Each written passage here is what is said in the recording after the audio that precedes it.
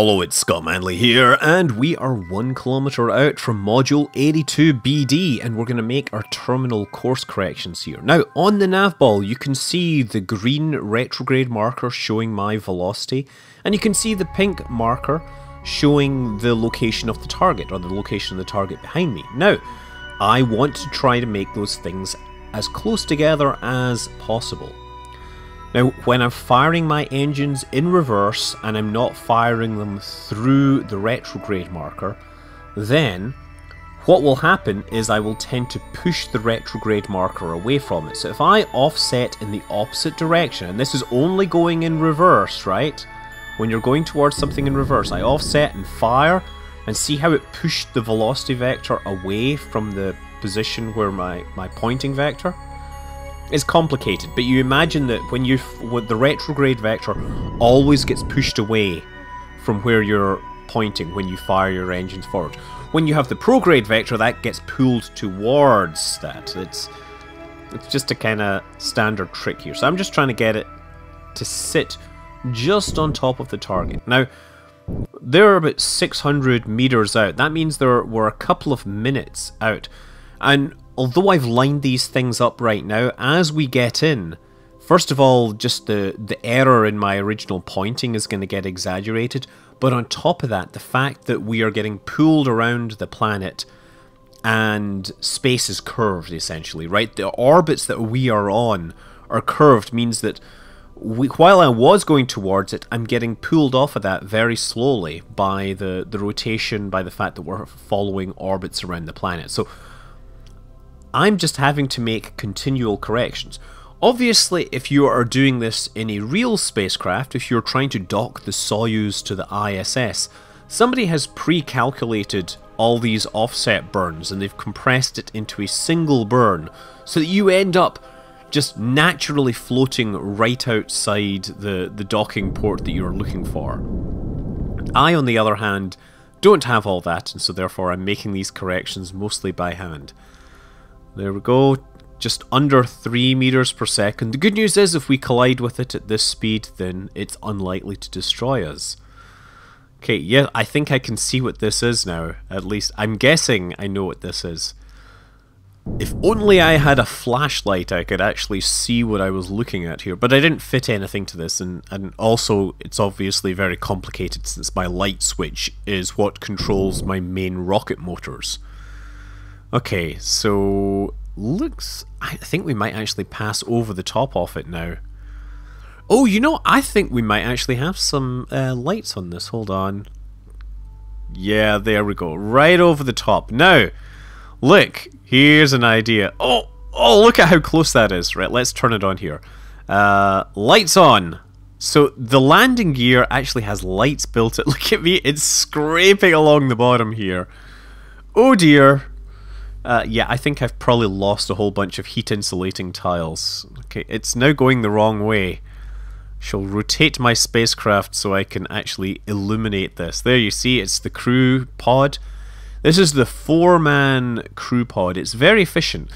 Two and a half ton, get two and a half tons for four crew members. It's the most efficient way to put crew into space. Well, short of strapping them to seats on the outside of your spacecraft which is entirely possible, but since you can't put people in them, since you can't put Kerbals in them in the uh, vehicle assembly building, that is not the most, it's not the easiest thing to do.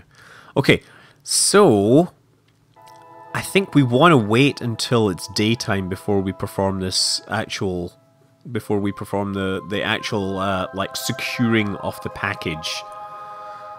Sun will rise soon. Uh, you see, we're picking up speed relative to the target once again because space is curved. There we go. I'm going to rotate the thing upside down so at least it's roughly in the right direction for us. Now, I should probably put away that landing gear because it's it's really not the done thing to go flying around in space with your gear hanging out right like that. Let's decouple this and now enable uh, there we go. Enable RCS, and nope, it's it's I. Yes, it's push. No, it's K. T K. That's us moving outwards. control from here, arm the claw, point towards the target, and now look at this. I'm just I'm just using lateral thrust here. You know, IH, IJK, and L, and I'm just floating onto this. Oh. I, I have practically used no fuel at all there. That was so much for the vast amount of fuel reserves I brought with me on this. Okay, so now that fuel is actually useful because we're going to perform the deorbit burn with it. And we want to do the deorbit, you know, relatively... We, we want to make sure that we, we do it as close to the, the landing site as possible. So that we maximize our return from all this. Now let's see... Bingo... So I, oh look, we're actually flying out over the the desert. So this is actually probably going to bring us pretty close to the, the space center, yeah. Although actually I think I'm going to go in very, very carefully with this. The reason is that I don't have any heat shields and if the parachutes go I will lose the module and I will lose the spacecraft and everything else. So what we're going to do is just, I'm just firing it backwards, holding the H key while uh, in RCS mode will accelerate me forwards and we'll bring the periaps down to about 30 to 40 kilometers. Okay, well we had a quick tea break and now we're falling towards Kerbin. Gravity will hopefully do as much of this as possible, but uh, now I think about it, I want to make sure that I lighten this spacecraft as much as possible. That That's about one ton of fuel I still have, have there, so I want to try and do stuff during descent to make sure that I burn up the fuel. So what am I going to do here? I guess I can... I'm going to fire this downwards, so and then I'm going to bring the thing upwards. So I'm pushing myself towards the planet. This is largely a bunch of pointless stuff to, to use up fuel while I'm performing the descent. The more fuel we have, the heavier we are, the faster we hit the water, the more likely that we lose our very valuable piece of hardware. This is a recovery mission, and you're supposed to recover the part intact rather than in pieces.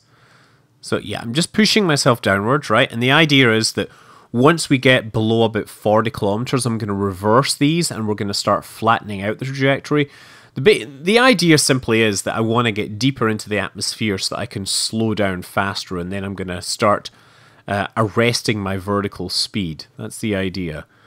We'll try and keep it at a reasonable altitude where the drag is sufficient to slow us down faster.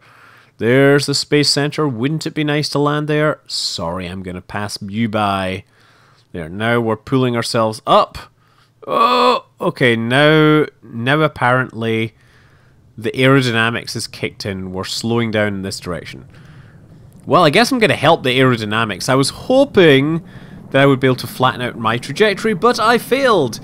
Instead, I'm going to use the, the thrusters to help me decelerate, and hopefully, hopefully, hopefully, hopefully, nothing explodes. Yay, nothing exploded. That's all good. Continuing to perform fuel burns to slow the spacecraft down. I'm, I'm actually surprised at how well I got that through the center of mass. That was very lucky there. Because if you didn't have it quite through the center of mass, you might have to adjust your spacecraft or you might be wasting fuel the whole time. Okay, down to about 100 meters per second and still burning fuel. I'm to land in the water. Uh, water is far more dangerous than land for landing. I think I've explained this before, but uh, the problem with landing in water is when you land on land, the first thing that hits if it's going too fast, it will explode, but it will also transmit physics back. Whereas if it hits the water, then the physics doesn't get transmitted back, and therefore subsequent parts don't slow down as much. So crumple zones work when you're landing on land, they don't work when you're landing on water in Kerbal Space Program. Okay, I am concerned it says 7 meters per second. I'm firing these engines, it brings my speed down to about 6.6. I'm pretty sure the maximum impact velocity of this uh, crew can is about 6 meters per second, so I think I may have actually failed this mission and I should have brought extra parachutes. But we're gonna try anyway. Throttle! Full power! Full power! I'm pressing uh, pressing N there to give me maximum reverse thrust. 6.4! Oh, I survived! Good lord, I did not expect that.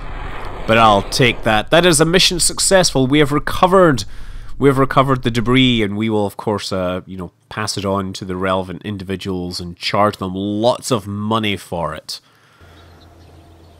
So part recovery contracts aren't particularly profitable, I would guess. Uh, in fact, the spacecraft that I sent up probably cost way more than the amount of money I'm making from this. They're 65 or 64,000 plus we uh, an extra. Okay, so it's about 70,000.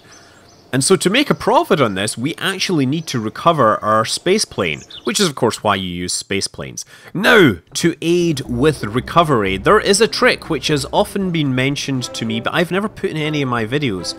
I'm going to take the science rover, mostly because it's here and it works as a rover. So what we're going to do is add some landing aids to the Kerbal Space Center.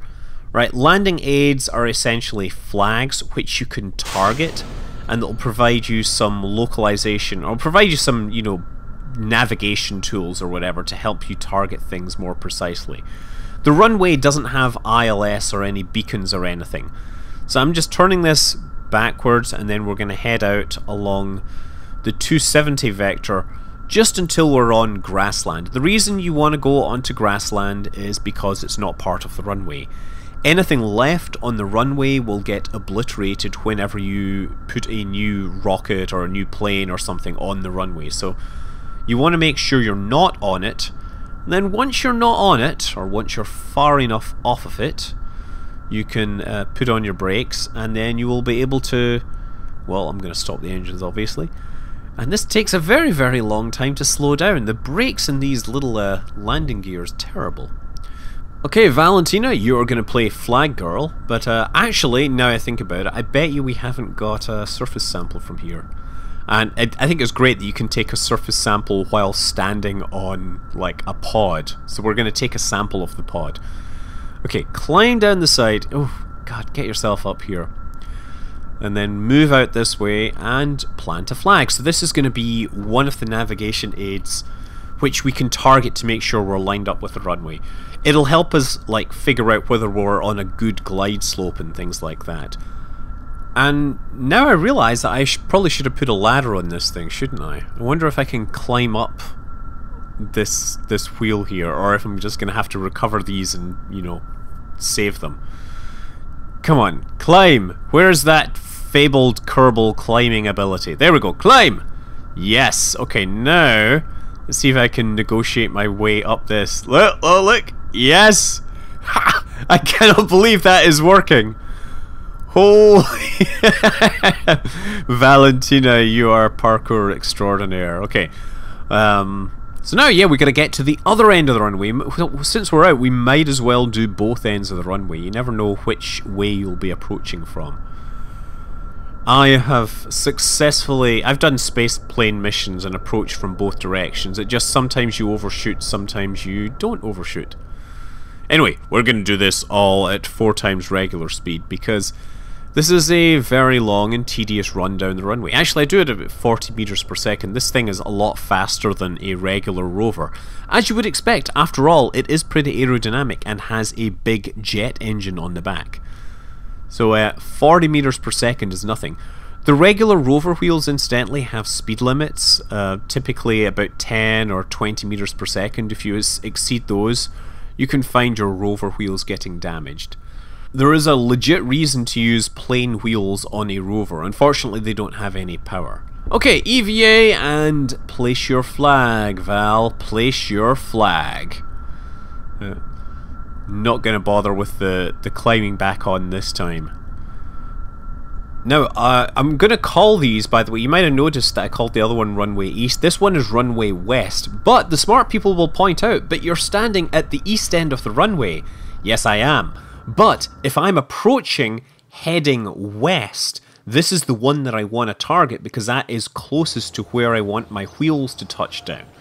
That's why I've kind of got them backwards, and it's not just because I got confused. No, there's there is a legitimate reason for this, and we will we'll test them out in the next episode. Until then, I'm Scott Manley. Fly safe.